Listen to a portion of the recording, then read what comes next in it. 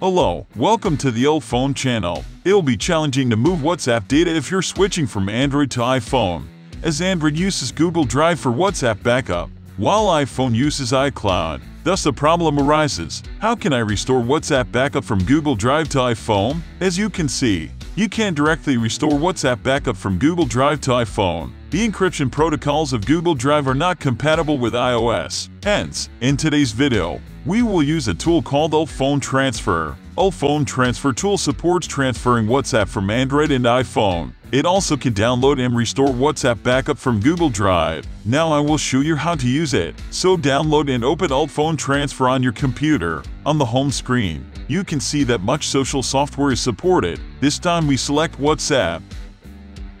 Select backup from the options on the left. Then you can see other backup method. Click download WhatsApp backup from Google Drive to the computer. Have you backed up your WhatsApp to Google Drive? If haven't yet, you need to back up your WhatsApp to Google Drive on your Android. On your Android, open WhatsApp and tap Settings. Then tap Chats, Chat Backup. Allow backup to Google Drive, then tap Backup. If you have already backed up your WhatsApp to your Google Drive, you can ignore this step.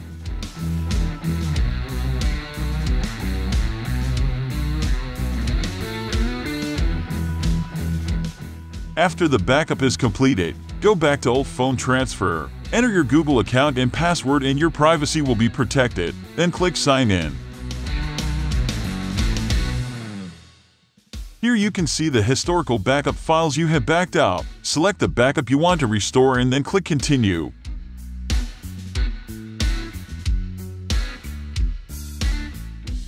Here you need to verify your WhatsApp account.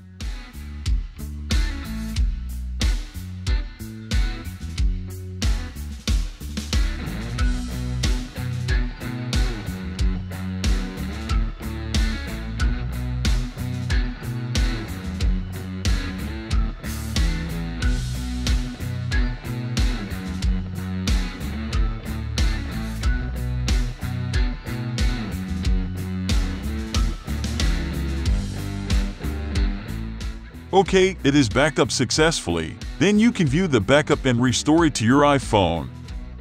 Select your chat data and click Restore to iOS.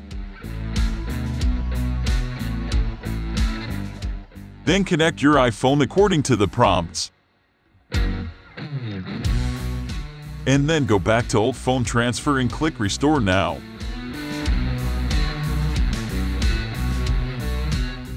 Now you need to log into WhatsApp on your iPhone.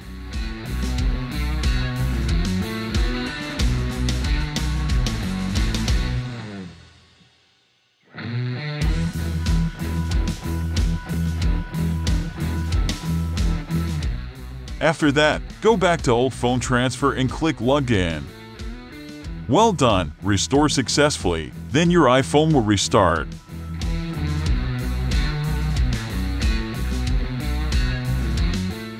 Let's check it out.